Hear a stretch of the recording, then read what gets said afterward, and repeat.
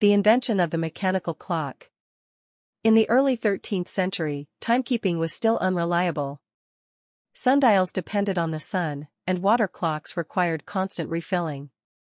But humanity needed a better way to measure time, especially in monasteries, where monks followed strict prayer schedules. Sometime around 1275, the first true mechanical clock was invented in Europe.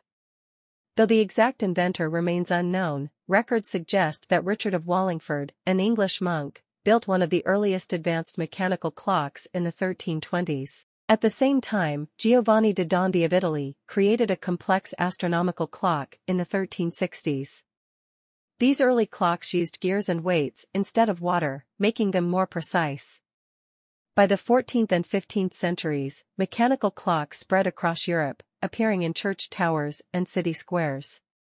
Then, in 1656, Dutch scientist Christian Huygens revolutionized timekeeping by introducing the pendulum clock, vastly improving accuracy.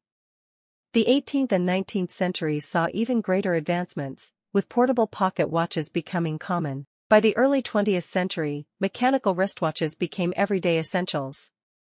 However, in 1969, the quartz clock was introduced by Seiko, marking the beginning of electronic timekeeping. Quartz technology was more accurate and affordable, leading to the decline of mechanical clocks. Today, while digital and atomic clocks dominate, mechanical clocks remain prized for their craftsmanship and tradition, ticking as a testament to human ingenuity throughout history.